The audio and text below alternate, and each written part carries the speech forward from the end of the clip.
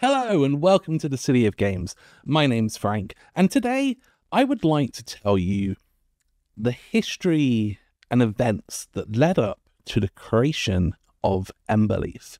Now, this is kind of a curiosity and an interesting story, and it's one of the reasons I want to share it is because not only is it interesting for how Emberleaf came to be, but for anyone else who's maybe thinking about making games or designing games, perhaps it will kind of set you on a path for yourself. So, this story begins, believe it or not, in 2017. So, what's that, kind of seven years ago? Seven and a half years ago, I think it was. It was the start of 2017. And I was preparing to make my first Kickstarter. It was going to launch in a few weeks, the City of Kings, and I went to a convention called Airecon in the UK. I think this was the first time I ever really went to a board game convention, and I didn't have a booth or anything like that. I just knew, well, maybe it'd be good to go and meet some people. Maybe it'd be good just to get out there. I hadn't really done this, and it was a, literally, I think it was a couple of weeks until my Kickstarter was launching.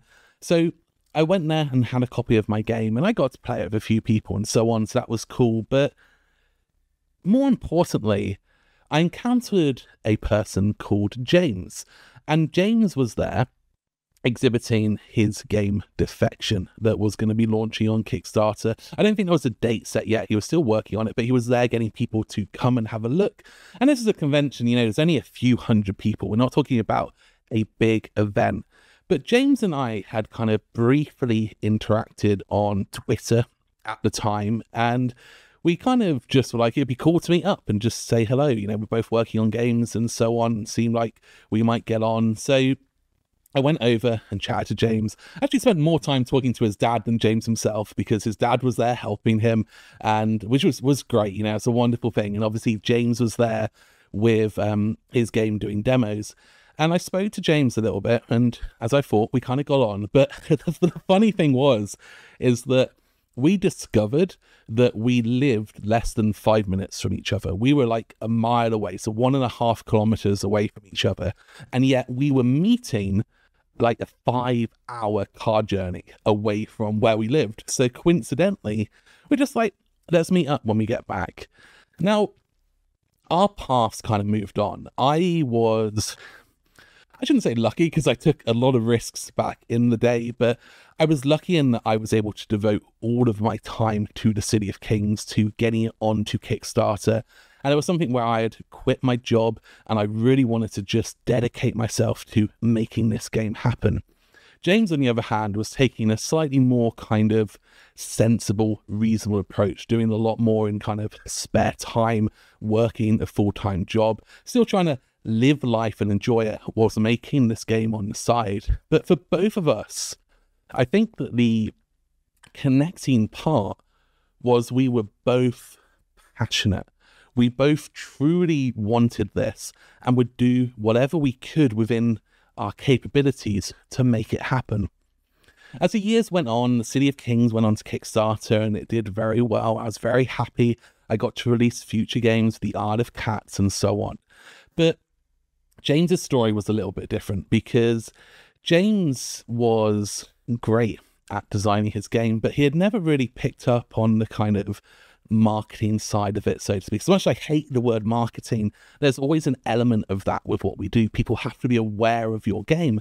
And when it eventually arrived on Kickstarter a few years later, unfortunately, just not enough people knew about the game. I think that it really suffered because he just hadn't built up the mail list, he hadn't built up the social following, he never really enjoyed doing social media. And if you want to self publish, this is a really important part of the process. So, after James's first Kickstarter um, unfortunately failed, he then kind of had to reassess. And one of the things that, I mean, obviously, you know, really back then, like I didn't know anything near like what I know now about kind of game design. But one of the things I kind of said to him back then was, I want you to make the game that you want to make. Defection was never the kind of game that I would just go into the shop and buy myself. It wasn't my kind of game, but I liked it as a game. I thought it was a good game, but I felt like the audience for it was going to be very small. It was a pick up, deliver, um, big sci fi kind of game, which is cool. I've got several of these kind of games. And the problem is, is that it's a challenging type of game to get out there. So he did a lot of kind of rethinking. And then over the next couple of years, he redesigned Defection and he um, renamed it. I won't talk about the new name because I don't think it ever got public, but he gave it a new name, was working on this new version of it. And with this one, I did a lot more coaching. I tried to advise him a lot more. And again, allowing him to make the game he wanted to make, but just guiding him on how to try and make it more um like reaching to a wider audience and keeping that vision. The problem was is that at this point James had been working on this game for I don't know five six years, and it was obviously taking a lot of time, and we still had those core issues of the mechanics within the game were not necessarily super popular. The theme in the game was not exactly super popular, and James still hadn't built up that audience. And he was really starting to kind of just wonder how can I make this happen? Now, jumping back to myself for a while, I, for quite a few years at this point, or maybe a year or two at this point, had been playing around with this new card system. A card system which I designed four, five, six different games with, and I was in love with this card system. I thought this card system was amazing. It could be simplified into something very basic and entry level. It could evolve into something far more complex and deeper for these big, giant, heavy games. And it was so flexible and so interesting and unique. But I was really struggling with what was the first game I wanted to release with a system. I didn't want it to be too much of the simplified form. I didn't want it to be too much of the advanced form. I wanted it to be somewhere in the middle. And this system came to be known as card dancing.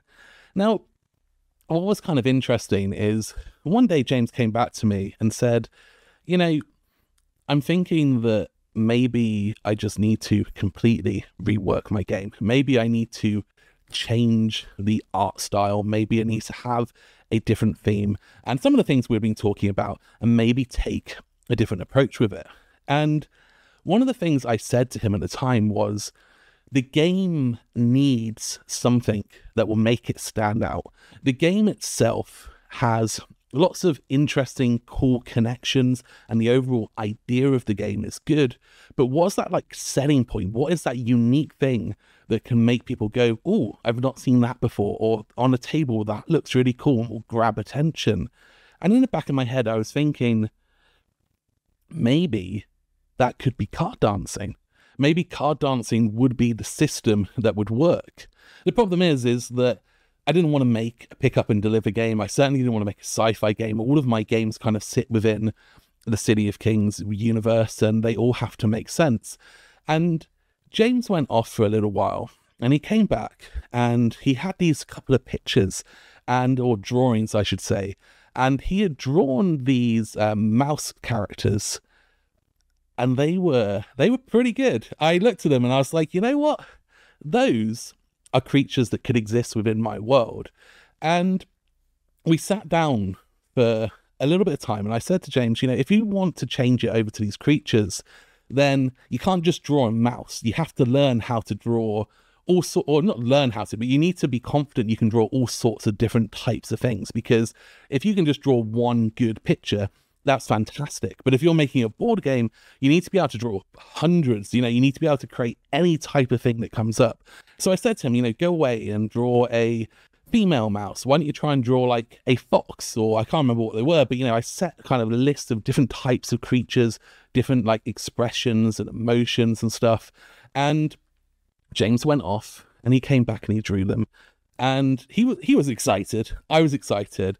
So I pitched him the idea and I said to him, why don't we team up? Why don't we take this new approach of artwork and why don't we take my card system and then take what defection had become and see if we could make something and just spend a couple of weeks and just see where we get to.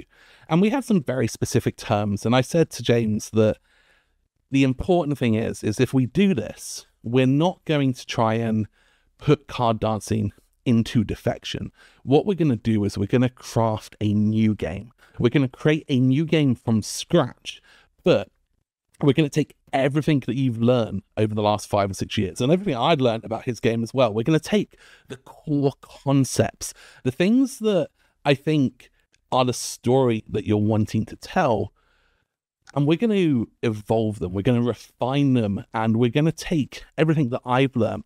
We're going to take parts of the Isle of Cats. We're going to take parts of all of my games and general learnings, and we're going to sit down and see what we can do. And I said, I think the way to approach this is because for me, um, obviously, I do this for a living. This is something I've been doing for many years now, and it's my livelihood. Whilst for James, it is still something where obviously, you know, it's a side hobby that he would like to become something more, but is doesn't have that same weight of importance to his livelihood. So I said, look, what I'm going to do is I'm going to go away and I'm going to spend a week or whatever time is needed to put some thoughts together. And I will create what I see as this game and then present it to you. And we can then see whether it's something that we do want to work on together. So I went off and I kind of listed down like all those key parts of what I thought defection was from all the learnings I'd gained from James and seeing what he wanted to make. And I took my card dancing system and the things that I thought were interesting about it. And some elements from the Isle of Cats because I wanted to make sure that because this was going to be a more complicated game, and we'll talk about this in another video, I wanted to have a sense of familiarity as well for my existing kind of community. So it wasn't a complete let's start from scratch a moment. And I pulled all of these ideas together and then invited James over, at which point he had done some more characters and they were looking quite cool and they were, you know, we were ticking a lot of the boxes. And I put this game out on the table and we sat down and played it. And it was great. It was for for the size of the game and the complexity of the game, I don't think that it should be possible to get to such a good point from a first prototype, like the first time you play it. And don't get me wrong, the game has changed considerably since then. But we sat down and we played the whole game for you know two and a half hours and we had fun doing it. And the reason it came together so well was this wasn't a game that was coming from nowhere. This was a game that was coming from, you know, nearly a decade of experience from um, James and him working on Defection and me just watching that journey and understanding what people liked and didn't like. I mean, I must have seen that game being played hundreds of times just myself and then my own games. And it was really, really good. Now, since then, a lot has happened. James and I um, continue to be really good friends, and we've worked together on the design and visual approach and artwork of this game pretty much daily for for as long as I can remember at this point. And all of those initial characters that um, were drawn out back then, like none of those exist anymore. Those were like so bad compared to what we have now, but they were so good at the same time because they were conceptual drawings. They weren't finished artwork. But yeah, I felt like this was a really interesting story to share because, as I say, people like to know, you know, how did you come up with the idea for this game? And really, the idea for Emberleaf was two different ideas coming together. It was James's vision for defection and what he wanted it to be. It was my vision for card dancing and evolving the Isle of Cats into something larger. And those things kind of coming together with two different approaches. And what's really interesting with me and James working together is that our design approaches are completely polar opposite. But because we get on so well, we can sit down and discuss. And I think it means that we get the best of both worlds most of the time. And whilst I have, um, yeah, no, I think that that probably covers the majority of what I kind of feel is worth saying in this video. And I'll leave some of the rest for future videos as well, because I don't want this to be too long. But yeah, there we go. That is kind of the origin story. And whilst it is a shame that defection itself will never exist. And, you know, if you could go onto YouTube and you could find videos of defection, and I can assure you that game looks nothing like Emberleaf. And even the mechanics and stuff, you'd feel like a completely different, but it still has some of that fundamentalness to it. That concept of building a crew, in our case, recruiting your fellowship, the concept of kind of picking up your citizens and taking them off to different planets. We've got our kind of rehoming our villages and so on. There's there's a lot of kind of loosely connected inspiration there that you can see that would have led to lots of this. But anyway, um, if you've got any questions, let's say ask them in the comments below. And as always, until next time, keep hard adventuring.